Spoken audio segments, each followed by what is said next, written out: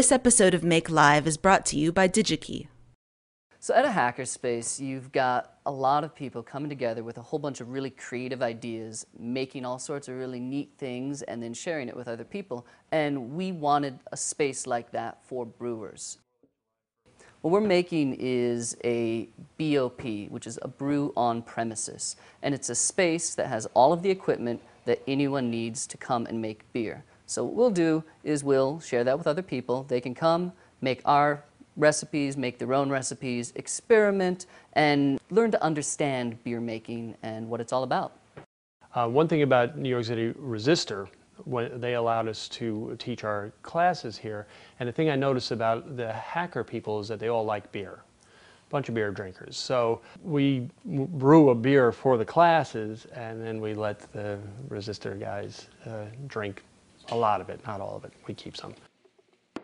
Beer making is taking malted sugars, adding hops, boiling it, fermenting it, bottling it, letting it sit for a while, and then you get to drink it. The first thing you would do would be to uh, steep some grain, which is known as a specialty grain.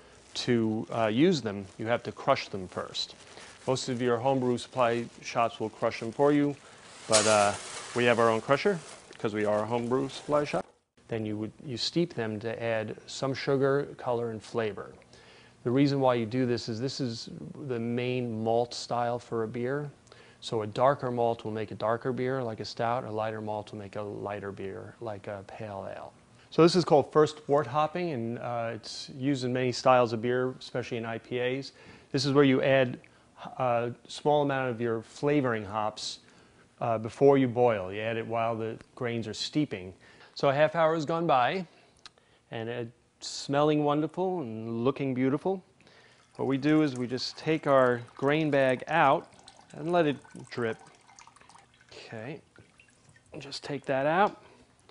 Now I'm going to add another two gallons of fresh water to the one gallon I already have in there to bring it to three gallons. Now we're making a two and a half gallon batch of beer, but we're boiling three gallons because we're going to lose a half gallon to evaporation. We're going to bring this to a boil.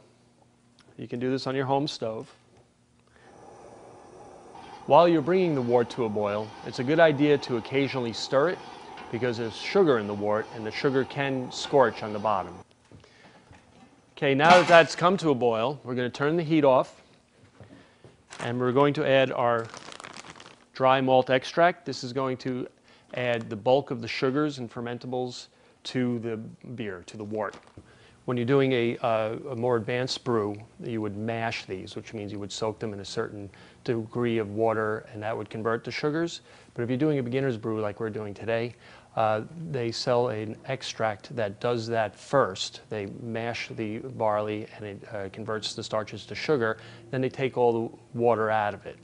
Uh, and it comes in two different forms, either a, a, liquid malt extract or a dry malt extract. Today we're using one that's just dry, it's a powder. You want to slowly add it in.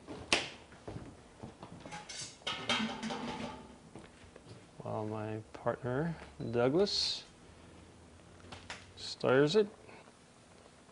This will give the food to the yeast that the yeast will turn into alcohol. light it up again and bring it to a boil. Now this is where you really want to watch out for a boil over. This will come to what is called a hot break. It is a coagulation of proteins that are in the, uh, in the malted barley and it will just actually foam right up and boil over. So you really have to keep an eye on it at this point. And here it comes up. See, uh, uh, Once that hot break occurs, once those proteins coagulate, it, they'll fall back into the pot and you don't have to worry about the boil over anymore.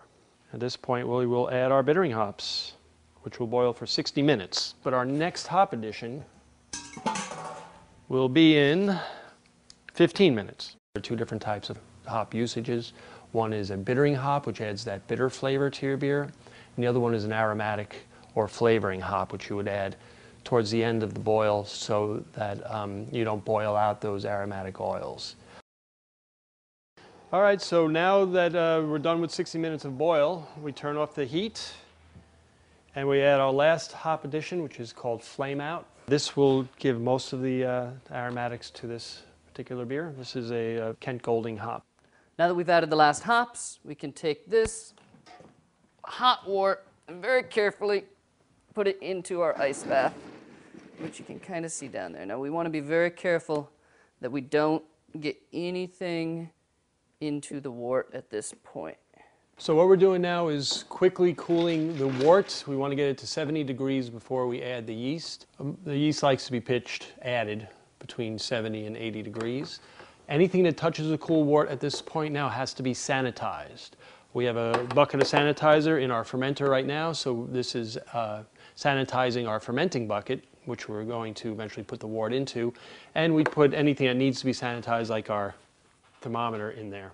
This foam is actually good. This will not affect the flavor of the beer at all. So I'm going to stick that in there. It's said that the brewer makes the wort and the yeast makes the beer. The brewer is the one who uh, puts whatever grains and whatever malts in the wort and whatever types of hops, um, different styles of hops and different